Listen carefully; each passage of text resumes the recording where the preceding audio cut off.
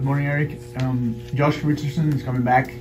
How is it different from the player that left uh, the Miami Heat years ago? Uh, how did that conversation go when you talked about bringing him back, and what do you expect from him this season? Yeah, you know, it was, it was one of those uh, special conversations uh, because we were able to revisit some of the things um, you know that we talked about right when he left. One of the things that uh, he was a, a, a, big piece, obviously, to get the transformative piece, you know, for us, and and you, you take that as an incredible compliment uh, as a player. Sometimes it sucks in this business you know, to be involved in a move like that. But we had invested so much in him. He had bought into so much in our culture, and he grew so much from being a second round pick that you're not really sure is going to make it to actually being a force defensively. Um, I believe his last year even, even was our leading scorer uh, and played a lot of different roles. You know, two, the three, point, uh, all those things, and just really grew in our player development program.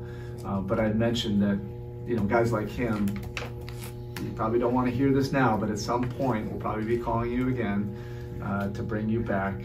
Um, just tuck that away somewhere. You're a competitor, so right now that's the last thing you want to hear. But he did remember that conversation, and, and we were fortunate enough to be able to, to bring him back. And, um, you know, he's just fit right back into the culture and the work and uh, all of that. I, I, think you're going to see a, a very dynamic two-way player. He's improved with his experience, uh, but the ability to defend multiple players and really be disruptive um, is unique. It's going to fit right into our, our system. We value what he does, uh, and I think the versatility of his offensive game will fit. He can play with a lot of different combinations uh, and units uh, and be effective. He can play three positions, um, and his shooting really is, um, you know, since since he was here, it's just continued to, to improve, and that happens a lot of times uh, with more years in the league.